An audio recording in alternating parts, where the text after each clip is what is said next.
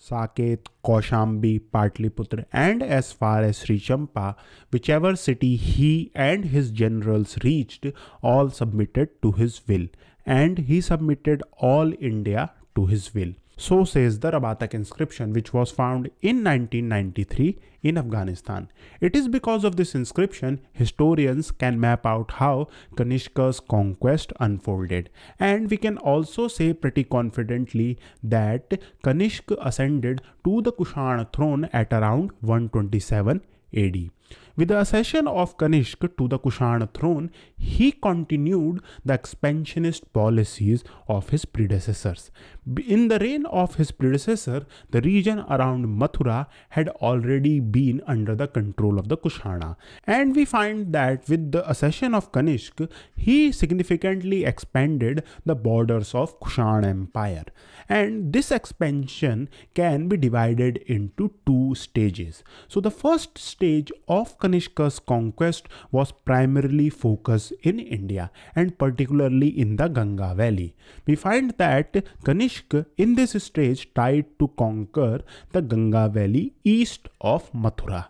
Now, the question which we have to answer is how far did the Kushan army went and what were the areas that were under the control of Kanishka. To answer this question, we have to first look at an inscription that was found on the statue of a Bodhisattva.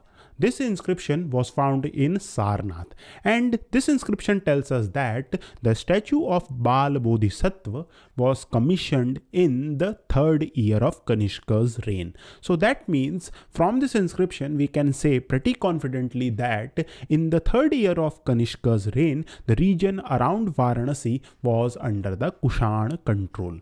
So that means we have to answer how far east of Varanasi did the Kushan control extended. So for this question, we have to first look at the Rabatak inscription, which claims that the city of Patliputra and the city of Sri Champa, which is situated in the eastern part of Bihar, was under the control of the Kushanas. Apart from the Rabatak inscription, we have also a story that comes from a Chinese source. Now, this Chinese source was in turn a translation of a Buddhist text. And in this text, we get a story that that Kanishka's army had reached the gates of Patliputra.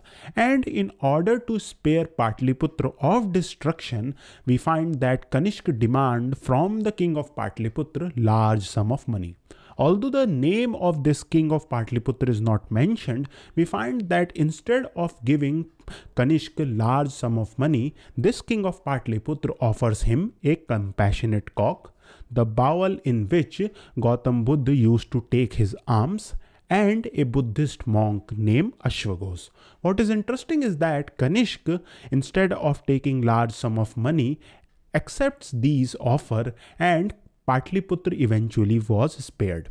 Although it is very hard for us to say whether this story or the claim that is mentioned in the Rabatak inscription is true or not, but what we can say is that the region east of Varanasi did have a strong Kushan control.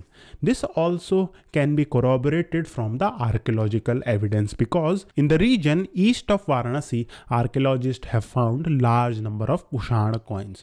So this tells us that there was a strong Kushan influence. Now after these campaigns that led to the conquest of the region east of Mathura, we find that the Kushan army under Kanishk also led a punitive expedition in the south, particularly in the Malwa region. After conquering large parts of North India in this first stage of Kanishka's conquest, we find that Kanishka turns his attention towards north.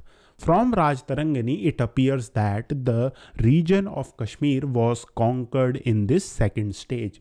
And this second stage also led to the conquest of several parts of Central Asia and also of Tarim Basin. Now with these conquests, Kanishka had extended his empire from Central Asia to the heart of Ganga Valley. And we can say that this empire was truly a cultural as well as religiously diverse place. This multi-religious nature of Kanishka's empire is also reflected in his coins. And from these coins we can also get an idea of what kind of religious policy Kanishka followed.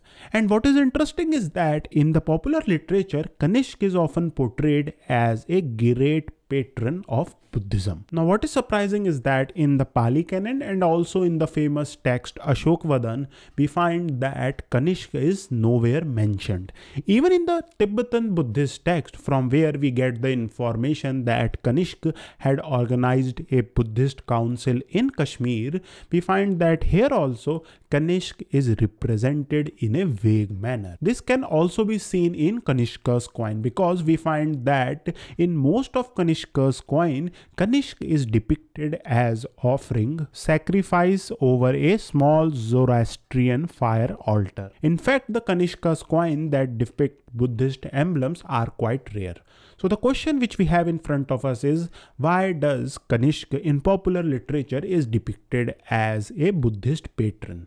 So for this answer, we have to look at Chinese sources because in the Chinese sources, Kanishk is equated with Ashok. And it is from here we get the sense of Kanishk being a great Buddhist patron and also the follower of Buddhist religion. This story is also reflected in the accounts of Chinese travelers who came to India. In the accounts of Chinese travelers like Huen Tsang, Kanishk is depicted as a great Buddhist king.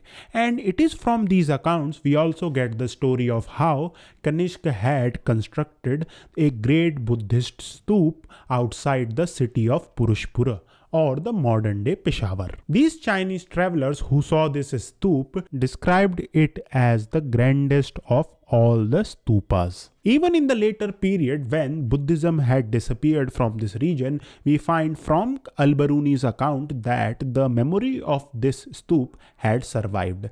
And in Al-Biruni's account, this stoop was called Kanik Chaitya. In the 19th century, Alexander Cunningham argued that a pair of mounds that was situated outside the city of Peshawar and in the area which the locals called Shahji Ki Dheri could be the place where this stoop was once situated. Now in 1908, the excavation in this area started and from this excavation, archaeologists found the famous Kanishk casket. This casket contained three bone fragments that are believed to be of Lord Buddha. The casket also depicts a king which most scholars believe to be of Kanishk. Now coming back to the question of what kind of religion Kanishk followed, most scholars argue that Kushan emperor in general followed the Iranian religion. This can also be seen in the various coins that belong to the reign of Kanishk in which various Iranian god and goddesses are depicted. But apart from following the Iranian religion, Kushan kings also promoted the worship of their predecessors and also of themselves. This belief in the divinity of kings can be seen in the two Devakula that are found. The first Devakula was found in Surkh Kotal that is in Afghanistan and the second Devakula was found in Mathura. And from these Devakula, archaeologists have discovered various statues of Kushan kings. And from the inscriptions that are found in these Devakulas, it appears that these Devakulas were the place in which the Kushan kings were worshipped. This practice where the Kushan kings were worshipped as divine beings were actively promoted by the Kushanas. And there is no evidence to suggest that Kanishk tried to stop this practice. The vastness of the Kushan Empire which Kanishk had created and the different cultures that was part of this empire can be seen from the different titles which the Kushan emperors used. We find that apart from the Indian title of Maharaja Rajatiraja, the Kushan also used the title of Devaputra which denotes that the Kushan kings believed that they were divine beings. And apart apart from this, we see that the Iranian influence can be seen in the title of Shaonano Shao. Now, this title eventually later become the title of Shahanshah. Now, the Greek element of the empire which had survived in the Kushan period can be seen in the title of Basileus Basilion, which the Kushan emperor used. But apart from these titles, what is interesting is that the Kushanas also use the title of Kaiser, which is clearly derived from the title of Caesar.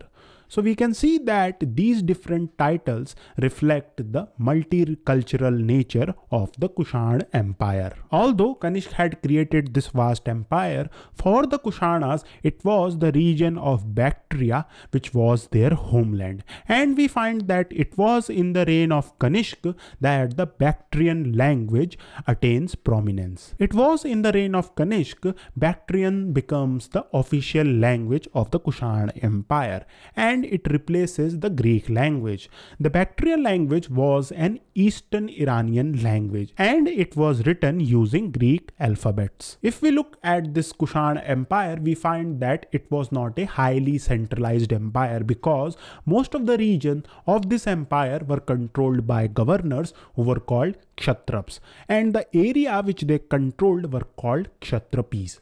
Now, although these governors or kshatraps were under the control of Kushan kings, we find that they enjoyed great powers.